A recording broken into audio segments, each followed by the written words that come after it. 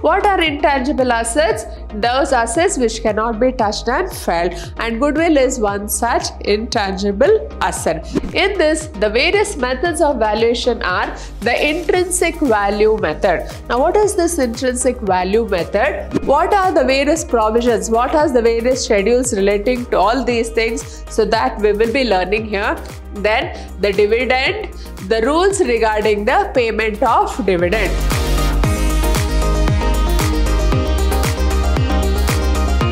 Hello, my dear students. I am Purnima, faculty in the Department of Commerce and Management, Vidhyaashram First Grade College, Temple of Excellence, Mysuru. In this session, I will be giving you an introduction of the syllabus for corporate accounting, third sem, BCom. Now, let us see what this session holds for us. Now, in this session, we will be having a discussion about the syllabus for third sem BCom for the subject corporate accounting then we will also having a look at the learning outcomes. Then what are the units? Then what are the internals? And the exam pattern. So what is the question paper pattern for the exam? So this will be the agenda of this session. Now let us see what the syllabus is all about. Now in this we have the first unit underwriting of shares. Now, what do we mean by a share? Share is a share in the share capital. So, what do we mean by underwriting of shares? What are the various types of underwriting and how do you calculate the statement of underwriter's liability? So, all this will be a part of Unit 1 under the heading underwriting of shares. Then second unit, we will be learning of profit prior to incorporation. Now, what do we mean by incorporation? Incorporation means registration or getting the company corporated or you just get the company, make it convert it into a joint stock company. Then in unit 3, we will be having a valuation of the intangible assets. Now, what are intangible assets? Assets, those which cannot be touched and felt, that we call it as the intangible asset. Then we have the valuation of shares in the unit 4. So what is a share? What are the different types of shares? How do you value the share? So this becomes a part of unit 4 and in the unit 5, the financial statement of companies. So what are the financial statements of companies that will be a part of unit 5. Now in this first unit, we will be learning about underwriting of shares. Now, what I mean in the introduction part, we will be having a look at the meaning of the word underwriting. So, underwriters means they are guarantors to the issue. In case any company is going for the IPO, that is the initial public offer, and then if the shares are not subscribed by the public, these underwriters, they undertake to buy those shares. So, such a process of purchasing the shares, we call it as underwriting or in other words, they are guaranteeing the issue. Then we also will be uh, studying about the SEBI regulations regarding underwriting. What are the regulations laid down by SEBI regarding the underwriting of shares? Then underwriting commission. The underwriters are entitled to a commission. Then underwriters functions, advantages of underwriting. So what are the advantages of underwriting? What are the different types of underwriting? That is firm underwriting. Then we also have the joint underwriting, partial underwriting, complete underwriting, then marked and unmarked applications, determination of liability in respect of underwriting contract when fully underwritten and partially underwritten with and without firm underwriting problems. So, we will be having look at all these in this unit 1. Then in unit 2 that is profit prior to incorporation. Now what do we mean by profit prior to incorporation? If there is a running business which is taken over by a corporate sector then what happens to the profits earned by that particular organization before it is taken over by the joint stock company? So how do you just ascertain the profits and how do you allocate the profits as revenue expenditure and capital expenditure? So in this we will be learning about the meaning, calculation of sales ratio and time ratio and also weighted ratio, treatment of capital and revenue expenditure, ascertainment of pre-incorporation and post-incorporation profits by preparation of statement of profit and loss account and balance sheet as per the Companies Act of 2013. So all this will be in unit 2. So that is profit prior to incorporation. So how do you deal with the profit prior to incorporation and profit after incorporation? Then under unit 3, we will be having a valuation of the intangible assets. Now what are intangible assets? Those assets which cannot be touched and felt and goodwill is one such intangible asset but it is a fixed asset. Now the valuation of goodwill. So so what do you mean by goodwill? Goodwill is nothing but the reputation of the organization expressed in monetary terms. So the valuation of goodwill, what are the various factors that affect the goodwill. So this we will be learning and also the circumstances of valuation of goodwill. When should we value the goodwill? Then methods of valuation of goodwill. So what are the various methods of valuation of goodwill? Then average profit method.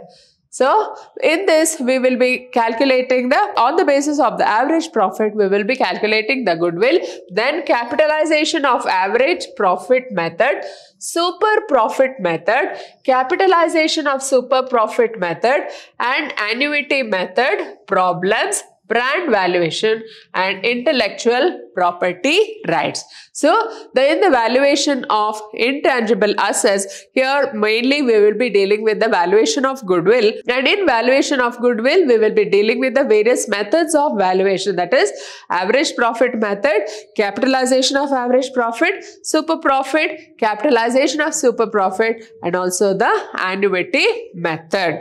Then next in the unit 4 we will be having the uh, learning about the valuation of shares.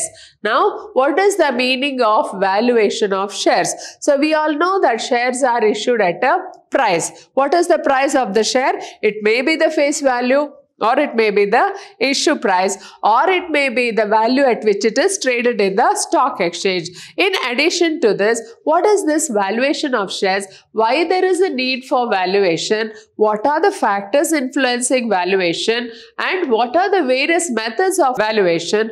All this are part of unit 4.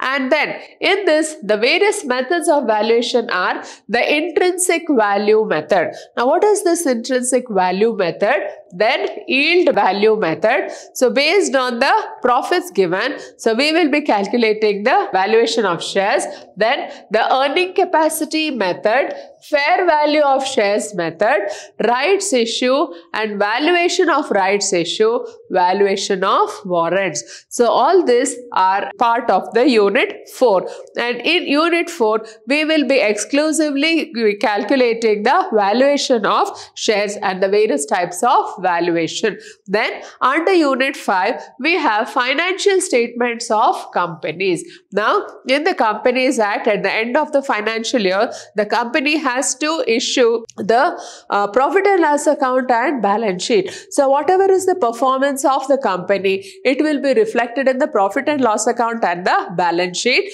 Now here before companies were supposed to present the balance sheet in the horizontal form but then after the amendment in 2013 now all the companies are supposed to issue the balance sheets in the vertical form. So in the vertical form we have the profit and loss account and the balance sheet and there are also schedules relating to this profit and loss account and balance sheet and we have to just make the entries based on the schedules. So this is uh, what we will be learning in unit 5. So statutory provisions regarding preparation of financial statements of companies as per schedule 3 of the Companies Act of 2000 13 and IND AS. What is this IND AS? Indian Accounting Standards 1. Then treatment of special items like tax deducted at source, advance payments of tax, provision for tax depreciation and interest on debentures. Now, what are the various provisions? What are the various schedules relating to all these things? So that we will be learning here. Then the dividend, the rules regarding the payment of dividend. So that we will be studying about the how the dividend will be paid and also the transfer to reserves. So it is mandatory for every company to transfer at least 20% of its profits to the general reserve every year. So what is that part of the profit we will be transferring to the reserve and finally the preparation of statement of profit and loss account and balance sheet. So all this are a part of unit 5 and it is mandatory for the students to memorize all the schedules under which all the items appear. Then Next, let us go in for the internals. So, in this internal assessment, we will be having three internal assessment here and in this we have for the internal assessment, the portions will be unit 1 and unit 2. So, unit 1 and unit 2, we have the for the first internals, then unit 3 and unit 4 for the second internals and unit 5 for the third internals. So, final marks will be awarded on the average of three internals. So, if the student has written all the three internals, so whatever is the average, so we will take it and we will uh, finally award the internal marks. Next, the question paper pattern. So, for the question paper pattern, so it is like part A where they will be giving you six questions and then out of that you will have to answer any five. So they are all two marks questions. So 5 into 2 comes up to 10. Then under part B you will be asked to write two questions.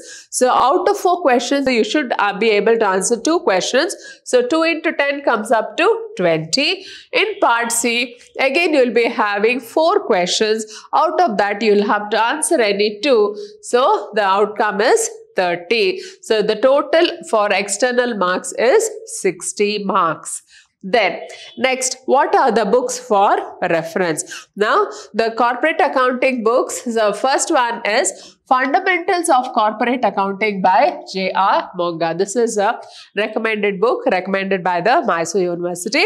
Then Advanced Accounts by M.C. Shukla and T.S. Grewal. So this is the second book. And third one we have the Corporate Accounting by Maheshwari and Maheshwari most popular book this one.